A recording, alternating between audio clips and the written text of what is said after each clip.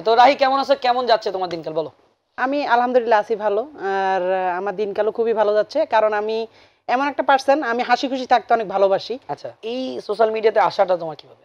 আসলে সোশ্যাল মিডিয়াতে আসব এটা আমি কখনো ভাবি নাই। লাইক এটা আমি যখন স্কুল লাইফে ছিলাম বা কলেজ লাইফে ছিলাম তখন আমি হয়তো বা স্কুল কলেজে মানে ওই যে অভিনয় করতাম বন্ধু বান্ধবের সাথে যৌথ অভিনয়। ওইটা ছিল আমার লাইফের আর কেমনে? যৌথ অভিনয়। হ্যাঁ যৌথ অভিনয় মানে বন্ধু বান্ধব সবাই মিলে অভিনয় হ্যাঁ, যৌথ অভিনয় হ্যাঁ। তো অভিনয় করতাম কিন্তু লাইফে একটা ইচ্ছা ছিল যে জীবনে যদি কোনো একদিন নাটক করতে পারতাম বা কোনো একদিন যদি আমার টিভিতে দেখাইতো। তো তারপর আমি যখন স্কুল কলেজ লাইফ শেষ গ্রামে গ্রাম থেকে যখন ঢাকায় নতুন নতুন আসলাম মানে আমি মানে যখন অনার্সে ভর্তি হব তো আসার পরে মানে আমি ইউটিউব দেখা শুরু করি। মানে ইউটিউবে আমার এক ফ্রেন্ড বলল যে ইউটিউবে দেখ যে এই যে তহিদা ফ্রিদির ভিডিও দেখ এই যে এর ভিডিও দেখ ওর ভিডিও দেখ। তো আমি মানে এক রাতে মানে আপনারই আমি আটচল্লিশটা ভিডিও দেখছিলাম। এক রাতে? এক রাতে। সারা রাত আমি শুধু ভিডিও দেখছি।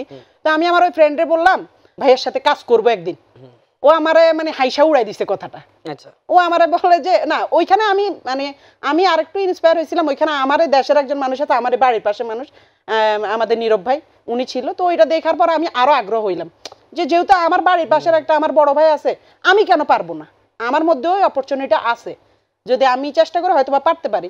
তখন আসলাম ফার্স্ট দিন আপনার কাছে আসার পর আপনি আমার বললেন যে তুমি কি অ্যাক্টিং করবা? তোমাকে আমি বরিশালে মনুতে নিব। তখন আমি খুশি হ্যাঁ সবচেয়ে সুপার হিট যেটা। তখন আমি মানে খুশিতে আমার ওই দিন হাত পা কাঁপা স্টার্ট হয়ে গেছে।